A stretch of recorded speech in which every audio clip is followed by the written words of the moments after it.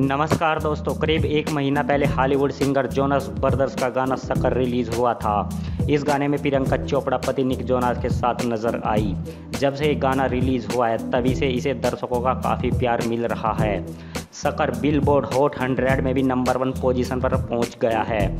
Release के इतने वक्त बाद भी फैंस अभी तक पसंद कर रहे हैं। इन फैंस में बॉलीवुड के हैंडसम हंग अर्जुन कपूर भी शामिल हैं। हाल ही में अर्जुन ने अपनी इंस्टाग्राम स्टोरी शेयर की, जिसमें उनके मोबाइल में जोनस ब्रदर्स का सॉन्ग सकर प्ले हो रहा है। इसके साथ ही उन्होंने लिखा I am a sucker for this song on loop मैं भी इस गाने के लिए सकर हूँ लूप में सुन रहा हूँ। इस पोस्ट के साथ ही अर्जुन ने प्रियंका और निक को भी टैग किया। इस पोस्ट को देखकर प्रियंका का रिएक्शन आया है। उन्होंने अपनी इंस्टाग्राम स्टोरी में अर्जुन की फ़ोटो को अपलोड करते हुए लिखा मैं भी अर्जुन। इसके साथ ही उन्होंने हंसने की इमोजी लगाए। ये प्रियंका और अर्जुन के बीच काफ़ी फनी बातचीत लग रही थी।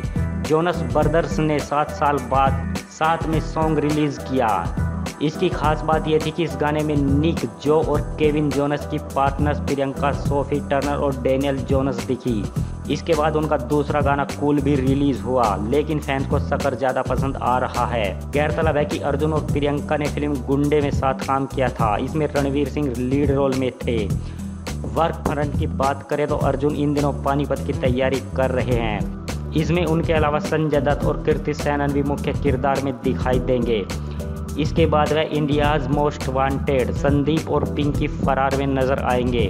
वहीं अगर प्रियंका की बात करें तो उन्होंने पिछले ही महीने सोलानी बोस की film the sky is pink की शूटिंग पूरी की है। इस फ़िल्म में फरहान अख्तर, जायरा वसीम और रोहित सराफ लीड कैरेक्टर्स में हैं। ये फ़िल्म 11 अक्टूबर को रिलीज़ होगी।